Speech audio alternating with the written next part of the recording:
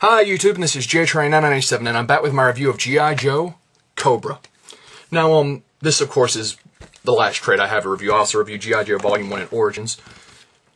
G.I. Joe Cobra is actually, um, I picked it up thinking it was an ongoing series, and apparently it's just a self-contained mini with, um, a special at the end.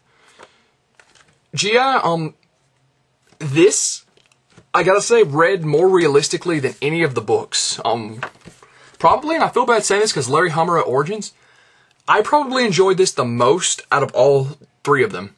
Now, um, G.I. Joe Cobra takes kind of views, it's all about Chuckles.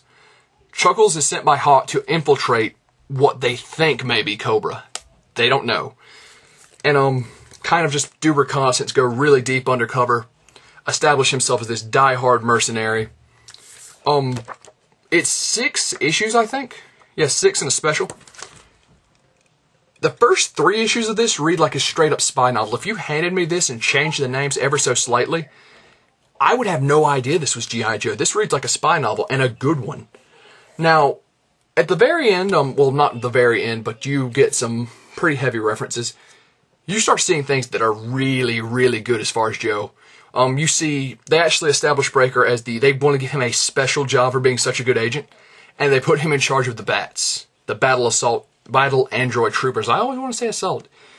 But, um, it's just a fantastic book. They go seamlessly from a straight up spy story into seeing the bats and seeing the HISS tanks. And I really felt that's like how Joe needs to be. It needs to read like a straight up military story and have all these kind of like far out futuristic things thrown in. And, um, they did not have a problem establishing that. One problem I did, oh, and they have the Crimson Guards in here, and I love their redesign. Um, one thing I will say is he just kind of like, he randomly starts talking about Cobra. And no one ever says this place is called Cobra. He just calls it Cobra once after he's seen the logo. Now, I have no idea where this is in re, you know, in compared to G.I. Joe or G.I. Joe Origins. Um, I do not know where this fits in the timeline. It is the latest release trade, so I don't know an issue and the current issues if they've discovered what Cobra is, but he goes in not knowing and then all of a sudden he does. So I don't see how he knows and the rest of them don't. Um, there aren't many other Joes in here besides Hawk and um, Scarlett gets a very brief cameo and Jinx is in here. But overall, this red easily was one of my favorites. Um, self-contained and you get a special focusing on Tomax and Xamot.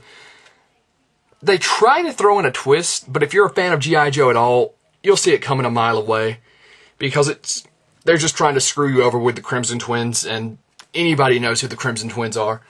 Um, but like I said, out of Origins and G.I. Joe, I enjoyed reading this one the most.